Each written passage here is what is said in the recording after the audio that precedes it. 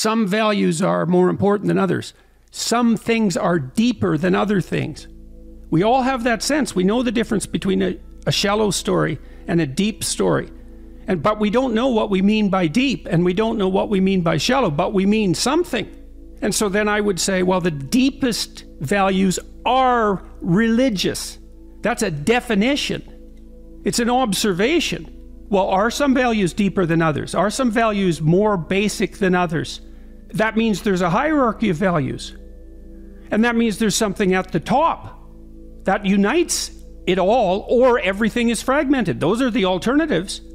And then, so one of my propositions is that, well, what Christianity is, psychologically speaking, at least in part, is the attempt to specify the nature of the highest value. And part of that's an abstraction.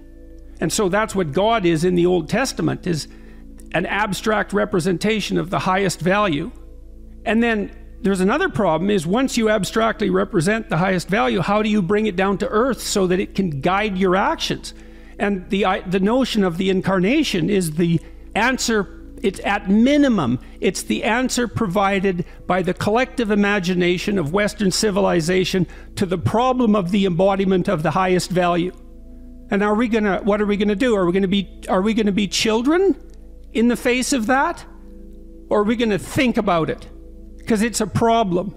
one of the things Mircea Eliade pointed out was he was commenting, at least in part, on Nietzsche's observation of the death of God. And Eliade said, Well, God, God has died time and time again because one psychological problem with abstract ethical religious thinking is that the highest value can become so abstract that no one can have any relationship with it anymore. You don't know how you don't know what it means for you. You don't know how to act it out. You don't know how to embody it, and so it's meaningless. It disappears, it floats away. But then when that happens to a culture, there's no central unifying value. And then the culture fragments in a, in a manner that's analogous to the Tower of Babel in some sense. And so something has to serve as a uniting value, and it is the highest value. And I, don't, I do not believe that the rationalist types, the rationalist atheists, I don't believe they contend with these problems at all. They, and it's not because, it's because they don't understand them. They don't know these problems exist. They exist. These are fundamental problems. And when I say that Christianity is the attempt to answer the question of how the highest abstract value should be embodied, I mean that most seriously. And then you ask yourself as well, you know, you said to me earlier that the people who've been translating the biblical lectures have experienced some transformation in their own life.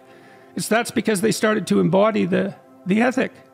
I can tell you, like, are you going to strive to embody the ultimate ideal or not? Because I could ask you, do you have anything better to do? How could you possibly have anything better to do? And if you don't want to do that, why don't you want to do it? Well, I don't believe in that. It's like, what do you mean by that? Exactly. Do you not believe there are any values? Do you believe you can just pick and choose? Do you believe that there's no uniting values?